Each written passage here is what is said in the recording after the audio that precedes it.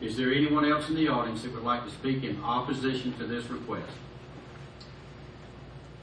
Anyone else that would like to speak in opposition to this request? Hearing none, I will now close the public participation portion on this request, and discussion is now open amongst the commissioners. Ms. Vick? Um, From looking at the current map and the previous map, looks like residential development. Mhm. Would you consider this spot from?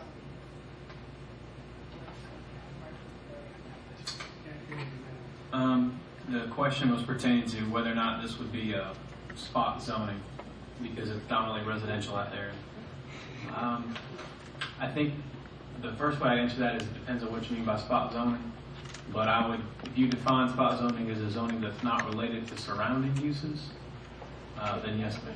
Um, I don't think this commercial zoning is related to surrounding uses.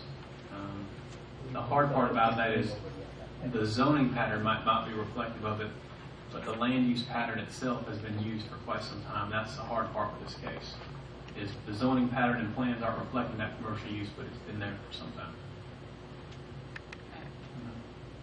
Any other questions?